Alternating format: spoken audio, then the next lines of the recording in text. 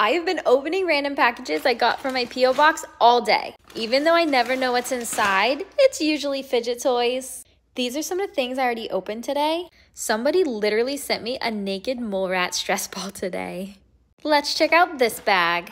The big reveal. Oh my goodness. They're color change items. And I bet these neon items are glow in the dark. I have to check these out right now. The grand reveal. Are they color change? Yes, they are.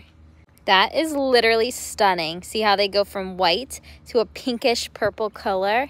I love it. It's a seahorse mochi. Let's see if these are glow in the dark.